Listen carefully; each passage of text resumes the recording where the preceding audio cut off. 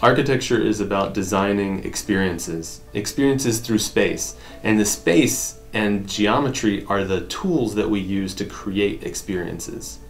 Often it turns into a building, but that's not always the case. There are a lot of sculptures that we do and other, other types of forms that we do to try and evoke a particular emotion or to evoke a particular experience there are a lot of people that, that design uh, towers, you know, skyscrapers, and, and, and there's actually a lot of complexity in it, especially like where you put the core. The core is usually where you put all the electrical, the water, the sewer, and the and the elevators. The elevators need a lot of support, so that's where a lot of concrete goes. So they put that core usually in the center, and then you've got floor plates that go all the way up. Now you can change the pattern of the floor plates as they go up and change the shape of the building as it moves up, but then you have to recalculate what the loads will be at each part so that you can size how big the, the beams, sorry, the columns need to be in order to support the weight all the way up.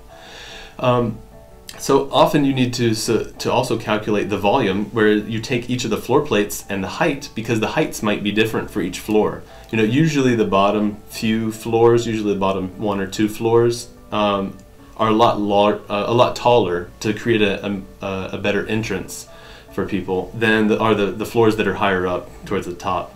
And so actually the area, the volume of that air is different for each floor. And so you need a way to calculate. So you take those floors and then you take the height and basically you multiply those together and get the, the amount of volume of that air.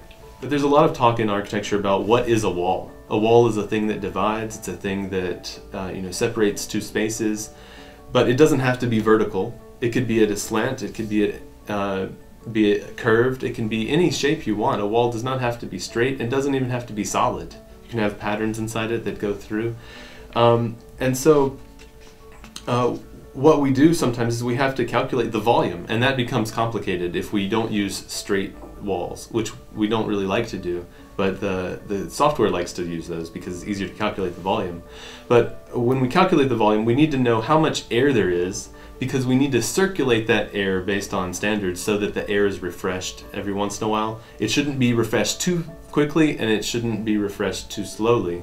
And it should move just a little bit to keep people comfortable. So we need to know how much volume there is so we can size the air handling units or the air conditioners that we put on the roof or on the ground. If they're too heavy, we, we, we might put them on the ground. But you need to calculate the volume to know um, how much air is in there because that also can tell you how much uh, water is in the air.